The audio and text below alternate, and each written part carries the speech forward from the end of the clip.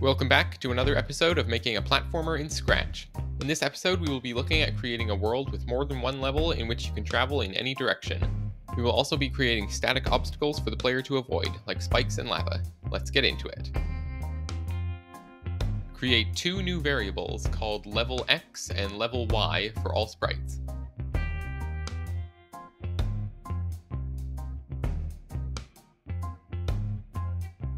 Under our when green flag clicked block, set both level X and level Y to 0.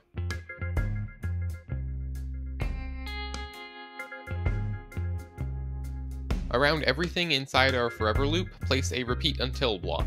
Leave the condition empty for now. Moving to our level sprite, open the Costumes tab. Rename the only costume in this sprite to X0, Y0. This indicates the coordinates of this piece of the level in the larger level. Levels placed to the right of this one will have a higher x value, and to the left a lower x value, and the same applies to the y position. The order of the costumes in this sprite doesn't matter as long as they are named correctly.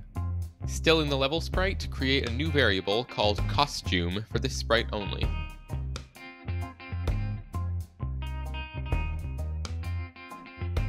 Grab a When I Receive Broadcast block and make a new broadcast called Begin Level.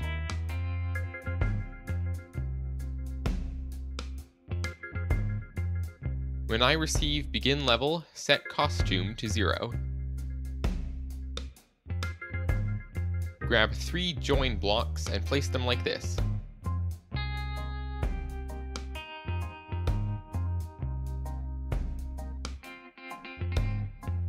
Join X, level X, Y, level Y.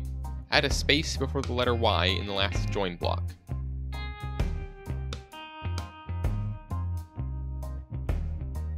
Then switch costume to the variable costume. After switching costume, check whether the costume name is equal to the costume variable.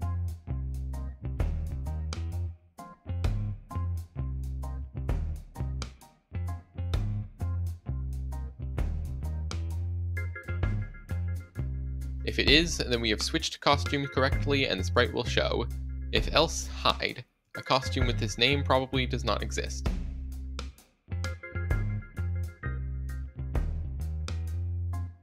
Now moving back to the player sprite, add in a broadcast begin level and wait block before the repeat until loop begins. Our level will switch to the correct costume before anything else happens. It's time to actually let the player move from level to level. Create a new custom block labeled switch level with run without screen refresh checked.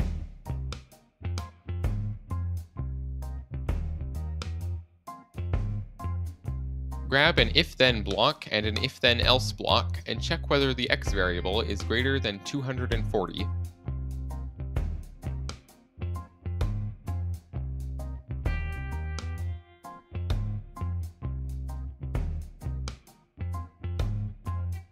It is, set it to minus 240.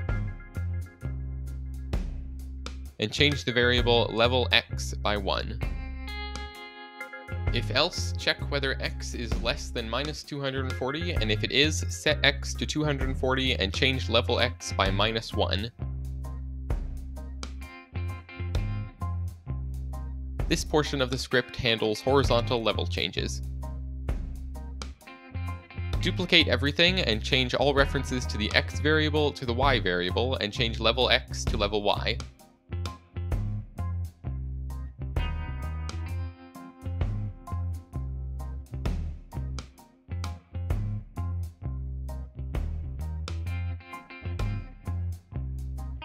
Then change the numbers 240 and minus 240 to 180 and minus 180 accordingly. Add this to the custom block. Create a new variable called exit for all sprites.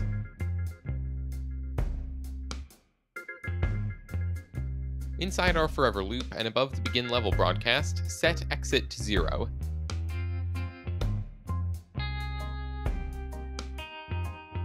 In the empty condition in the repeat until block, add an operator and check whether exit is greater than 0. Finishing up our switch level block, set exit to 1 each time we detect a level change.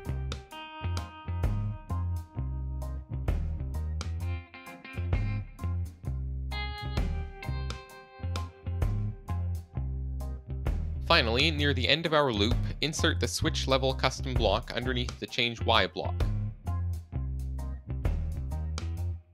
Before we test our level switching scripts, I'm going to design a few levels we can move through. Change the ground to be green as well, just so that it looks more appealing. As I mentioned earlier, this costume's name is X0Y0, so this is the level we will start in. I'm going to create a level to the right of this one, so I will duplicate the costume and rename it to X1Y0.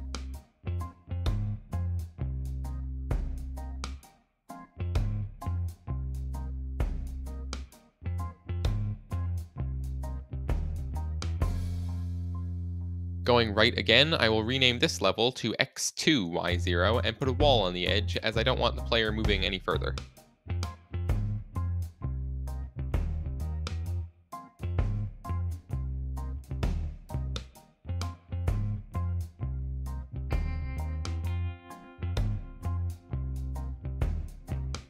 I'll make another level above this one, naming it X2Y1 to put it higher up.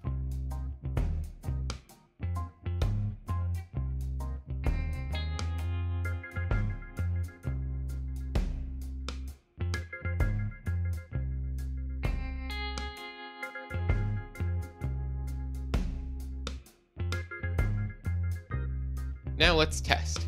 Hit the green flag and start moving around.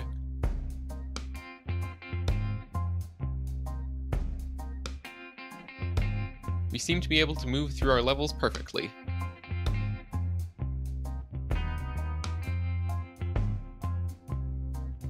The player's movement is feeling very fast and slippery right now, and I would like to slow it down.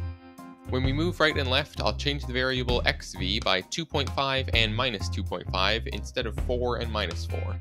You can adjust these values as you like in your own platformer. I like this movement much better. As promised in the video title, we will now get working on adding obstacles to our platformer, such as spikes and lava. Create a new custom block called Spawn Player, remembering to check the box Run Without Screen Refresh. Move everything underneath our green flag block and outside of our forever loop to be under the Spawn Player definition. Then insert a spawn player block below the green flag, still outside of the forever loop. Nothing has changed so far, we've just reorganized the blocks. Duplicate the level sprite and rename the copy to Obstacles.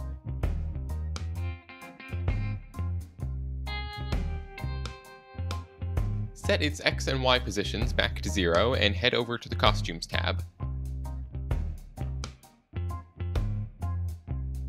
I'm going to draw in some red spikes. I'm going to show you the easiest way to make a symmetrical triangle in Scratch.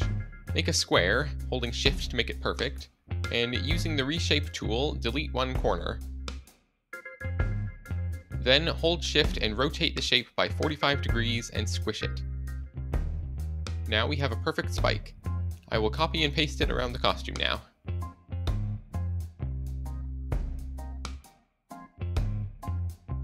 Now delete the rest of the costume.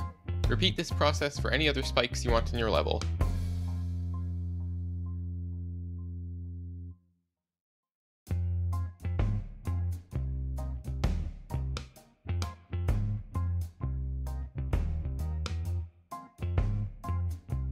The coding in this sprite stays exactly the same as in the level sprite. Click the green flag and our spikes should appear. They won't hurt us yet, so let's code that in. Grab an if-then block and check to see whether we are touching the sprite obstacles.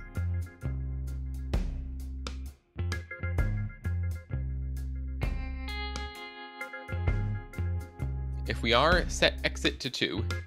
This number is greater than 0, so it will trigger our repeat until loop to end.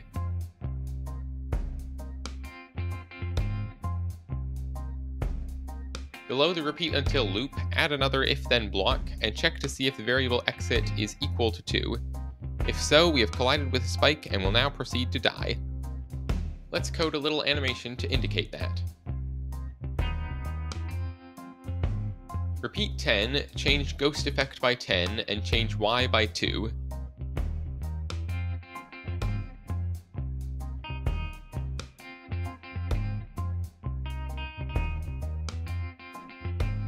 Then spawn player with our custom block. Let's test this.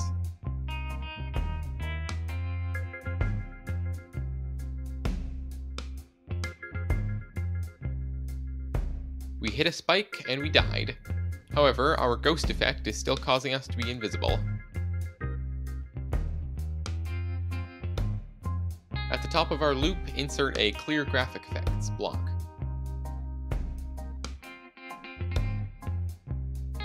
It works wonderfully, but there's a problem. Did you notice it? Let's play this back in slow motion. For one frame, the cat is fully visible as it floats away. This is because our clear graphic effects block runs before the cat has moved to the correct position. To fix this, go to our spawn player block, and after the x and y variables have been set, go to x position, x variable, and y position, y variable.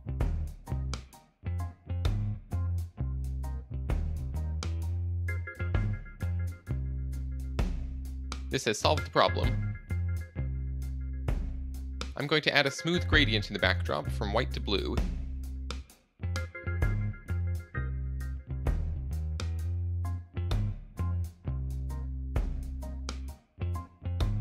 This makes the entire game look much better.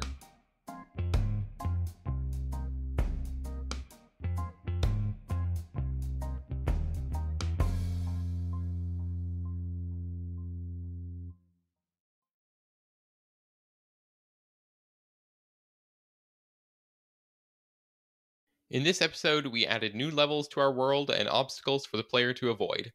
Thank you for watching all the way to the end. If you have any ideas for what I should cover in the next episode of the series, please leave a comment. If you would like to see more tutorials from me, consider subscribing. It's free and you can always change your mind.